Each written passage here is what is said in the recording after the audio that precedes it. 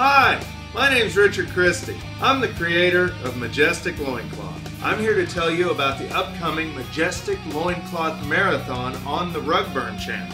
Majestic Loincloth is the world's first ever heavy metal comedy Viking rock opera. It tells the story of Gunnar Steedhorn and the attempts from the evil Orloff the Grave Digger to impregnate Gunnar's winch. It's dumb, it's asinine, it's pure stupidity. I think you'll enjoy it.